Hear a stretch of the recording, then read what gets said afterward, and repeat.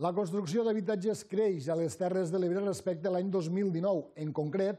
l'any passat se van construir un total de 217 habitatges nous i és la xifra més elevada dels últims 10 anys. Segons dades del Col·legi d'Arquitectes de Catalunya, es van visar un total de 78.892 metres quadrats a l'Ebre, dels quals gairebé 52.000 són d'obra nova, una xifra que suposa un increment 16% més respecte del 2019. El municipi on es van construir més habitatges el 2022 va ser la Mella de Mar, que concentra un 25% de la superfície total de les Terres de l'Ebre, seguit d'Amposta amb un 10% i de Tortosa amb un 5%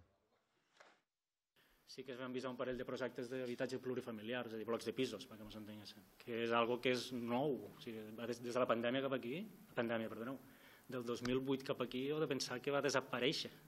A les nostres comarques, el plurifamiliar va desaparèixer. Els pisos nous, nous o seminous que s'estan venent són pisos que s'havien construït en els últims anys del 2000, i del 2010 cap aquí, realment no hi havia aquesta activitat. I ara sí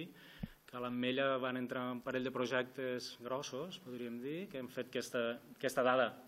en percentatge de metres quadrats a l'Ametlla se dispari molt i tot això és un dels municipis que, que per als efectes del turisme té,